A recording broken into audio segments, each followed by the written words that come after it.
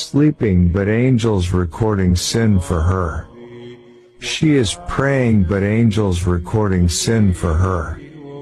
She is studying, eating, but angels recording sin for her. But why?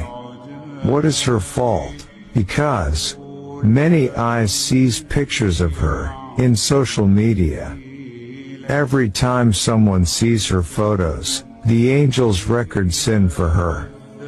If she dies without deleting it, angels will still record sin. Until the day of judgment if someone sees it.